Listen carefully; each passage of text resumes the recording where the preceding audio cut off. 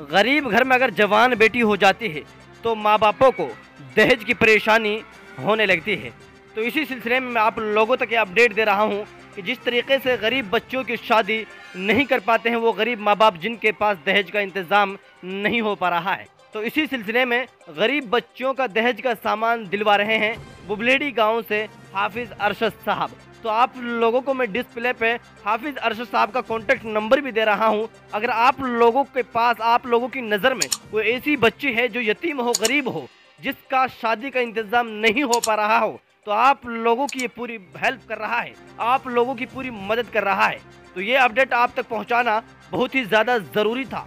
तो अगर आप लोगों के पास ऐसी कोई जवान बच्ची है, जिसकी शादी कर रहे हैं और वो गरीब है, यतीम है, इतनी खस्ता हालत है कि उसकी शादी के लिए इंतज़ाम बिल्कुल नहीं हो पा रहा है तो उसके लिए हाफिज़ अरशद साहब आगे आ रहे हैं और वो दहेज का सामान जिस तरीके से खाने का बर्तन होते हैं, उसी के साथ साथ फिर जिस तरीके से पिलंग होते हैं या फिर अलवारी सिंदूक होती हैं, ये सारा सामान हाफिज़ अरशद साहब दिवा रहे हैं। तो कांटेक्ट कीजिए आपके, आप हाफिज़ अरशद साहब से आपकी पूरी हेल्प करेंगे।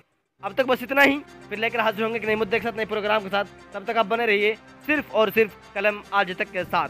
मैं हूँ आपके साथ नासिर हुसैन और आप देख रहे हैं इस वक्त मेरे साथ कलम आज तक चैनल सिंगल बेड है और कुर्सी वगैरह है, नमाज़ पढ़ी चौकी है, जैसे छोटा मोटा सामान पूरा दिवाया जी। आखिरकार आप आवाम से क्या कहना चाहते हो जिस तरीके से गरीब बच्चों के लिए जैसा आपने इंतज़ाम किया सामान का? बहुत सी बच्चे ऐसे हैं कि शादी का सामान ना होने की वजह से वो लेट सेट शादी होती है उन लोगों हमारे पास आए इनशाला हम उनकी मदद करवाएँगे। हम आवाम के लिए यही संदेश देना चाहते हैं जैसे हमारी बच्ची घर पर बैठी हैं उनकी बेचारी मदद करके उनको भी ऐसे इंतज़ाम करके उनकी शादी वक्त पर करी जाए।